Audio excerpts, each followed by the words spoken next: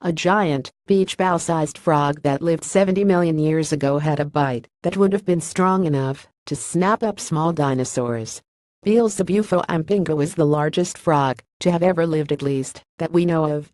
But it was similar to the modern ceratophrys frogs, and now scientists have used those similarities to make a fascinating discovery. Ceratophrys frogs are also known as Pac-Man frogs for their round bodies and almost comically large mouths. They're grumpy creatures, sitting quietly in wait and snapping at anything that passes by with force. It's these ceratophrys frogs that researchers studied to determine the bite force of Beelzebufo.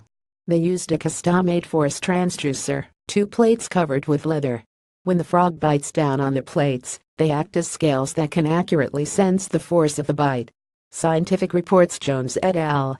A ceratophrys frog with a head width of 4.5 cm 1.8 inch has a bite force of 30 newtons, or approximately 3 kg 6.6 pounds.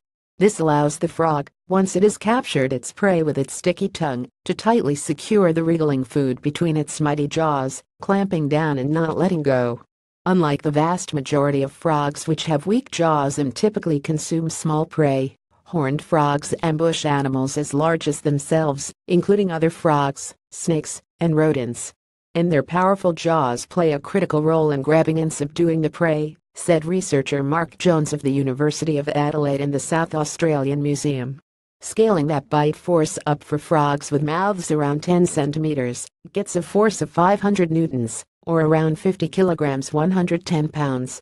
There are large horned frogs this size living in South America, and that bite force is consistent with turtles, crocodilians and predatory mammals of the same mouth size. The scaling method used to determine the bite force of these larger frogs, linking bite force to body and head size, is also consistent with results found for other animals, including fish, reptiles, and rodents.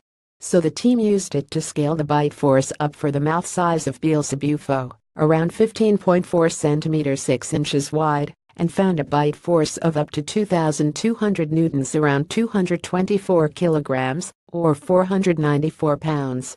Comparable to a snapping turtle with a head the same size, and more than enough, to fracture a human finger, so you won't want to be trying to pet it.